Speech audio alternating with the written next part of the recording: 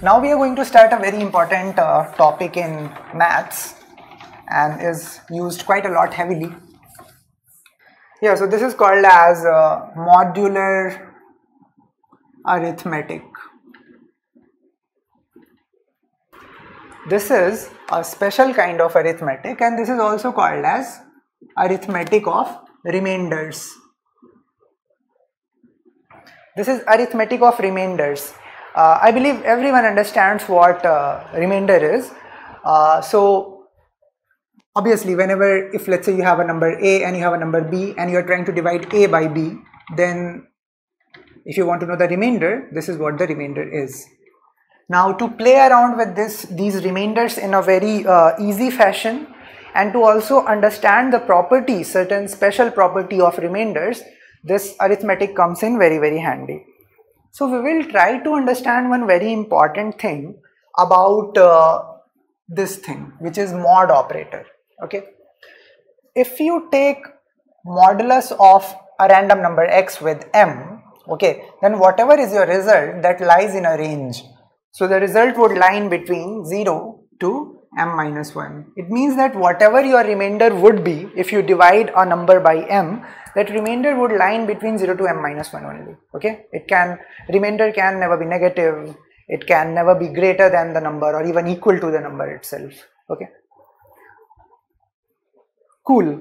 So one important thing to uh, realize here again is that let's say the value of m is equal to 5 so I can say that no matter what my x is, the value of remainder will lie between 0 to 5 minus 1 which is 4.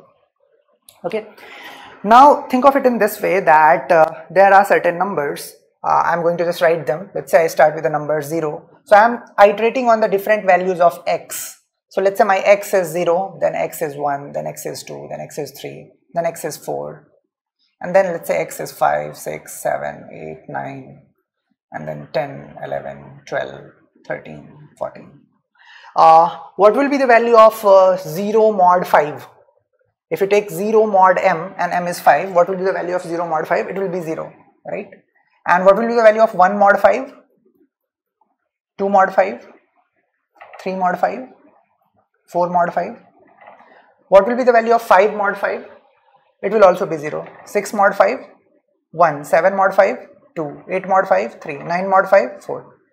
10 mod 5 0 11 mod 5 so can you see that uh, there is a time period or repetition after m units. Okay?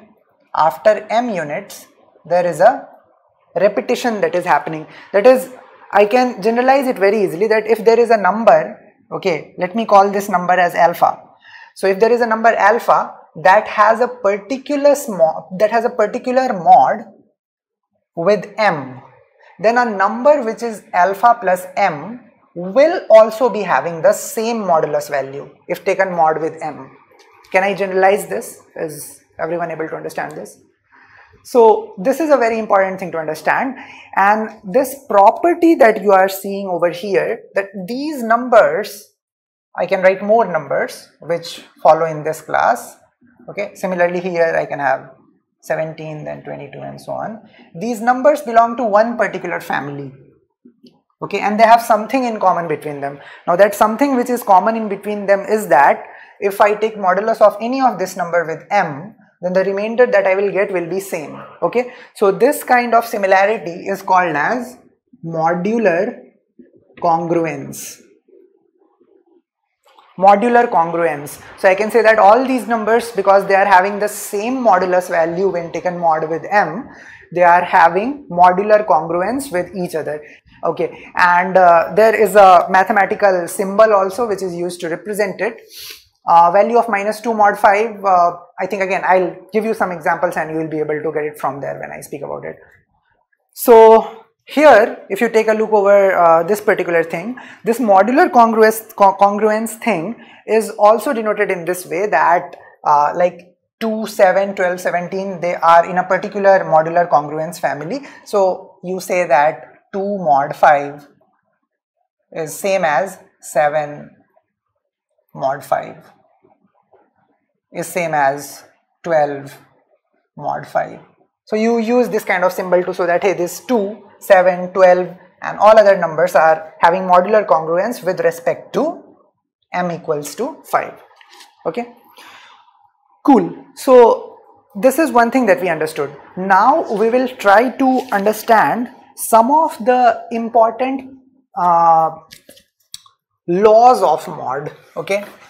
Now we have to remember those some of the important laws or equations whatever you say of mod we'll try to remember those so first thing is that let's say uh, there are two numbers a plus b and you are trying to take their modulus with m okay now you basically added two numbers and you are trying to take their modulus with m. So can somebody tell me that if I talk about the value of this expression what will be the range of it? From where to where will it lie?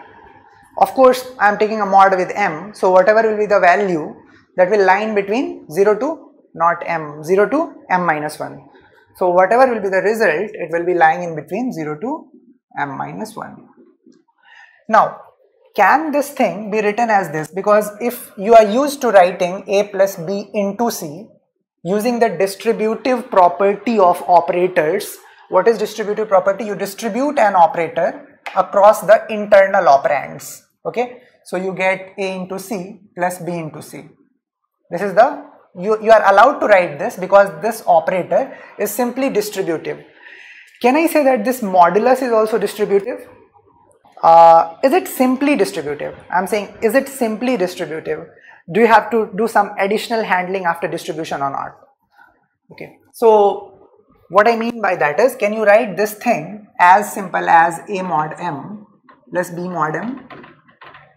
If you use your common sense, you will yourself say that, hey, you cannot write it like this. Why? Because can you tell me what will be the range of this expression? I mean, from where to where it can lie? Again, you are taking mod with M. So its value will lie in between 0 to M minus 1. Can I also say that the value of this will again lie in between 0 to m minus 1 right?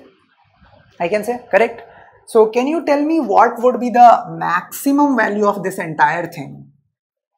What will be the maximum value of these entire things which is you can see something plus something.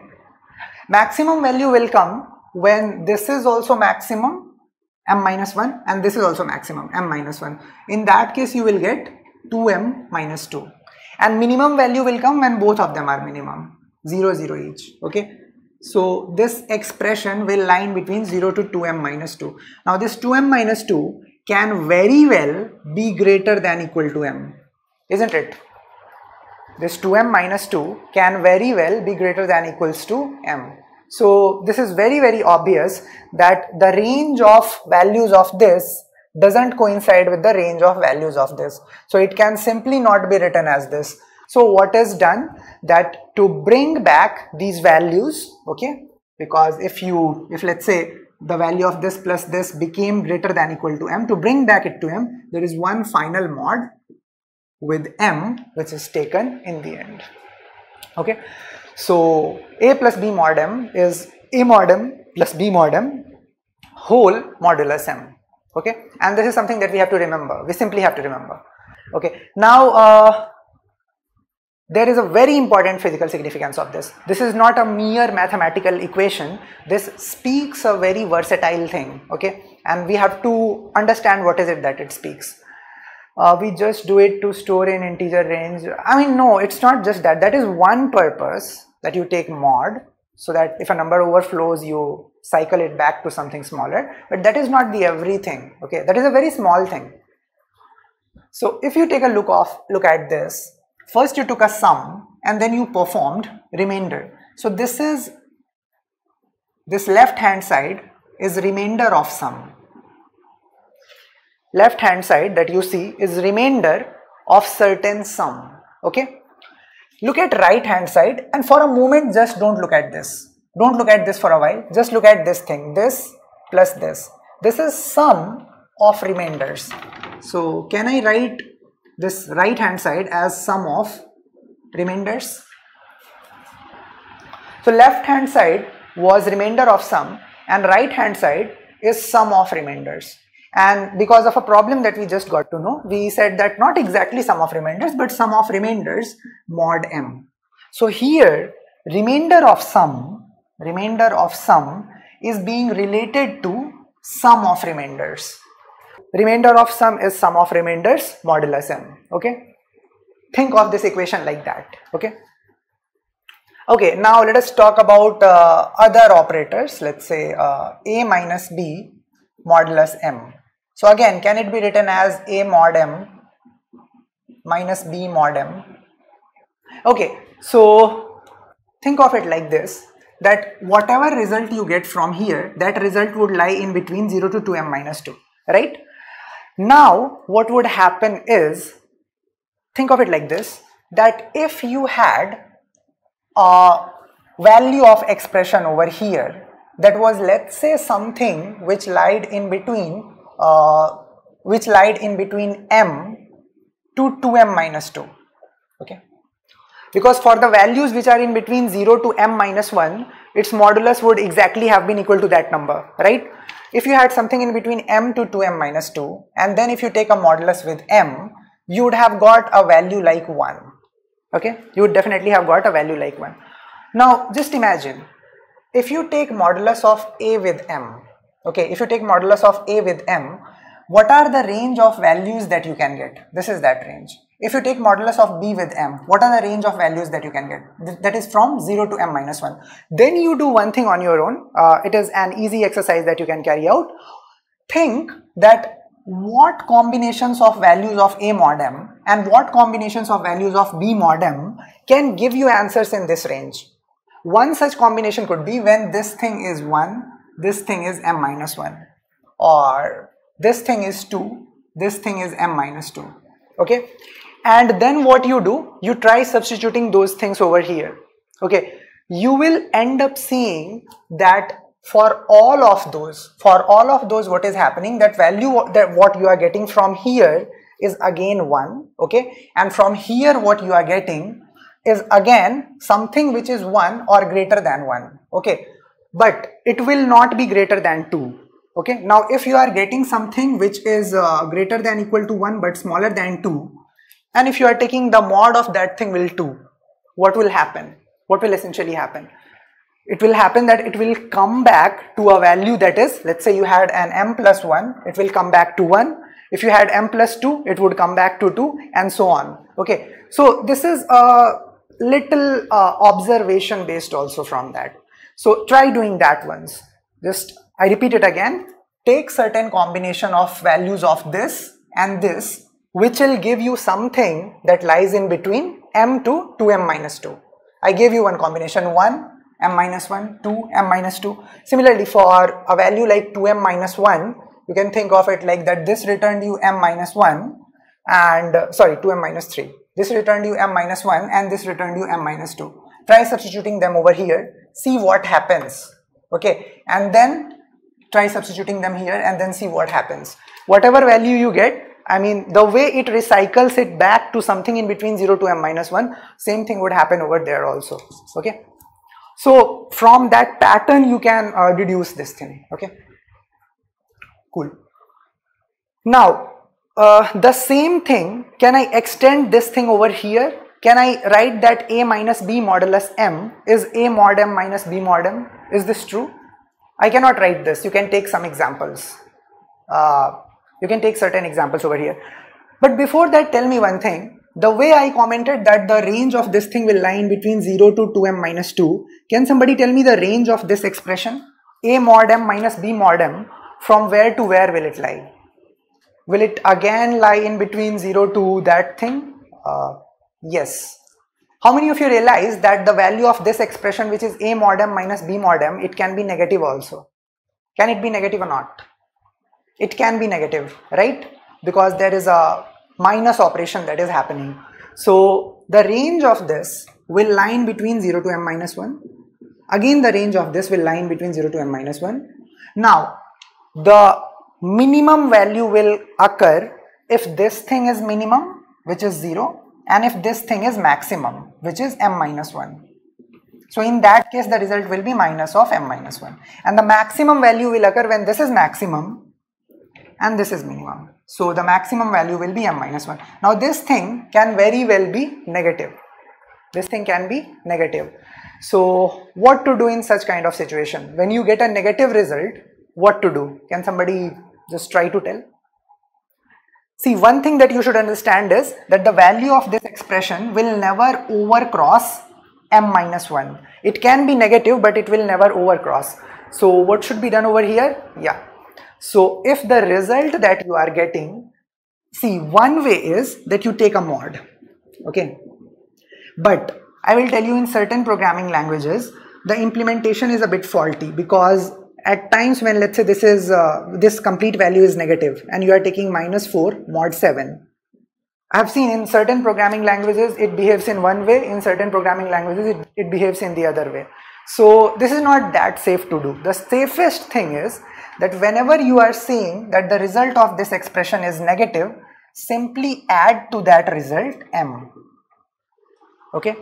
And then you will definitely become positive. Because if let's say the value of this particular expression was something like uh, uh, was something like let's say minus 1 okay then you would have added m to minus 1 and you would have become m minus 1 let us take an example. Let's say your a is 10 and b is 4 and m is 7 so what will be the value of 10 minus 4 mod 7 it will be 6 mod 7 which is 6 okay.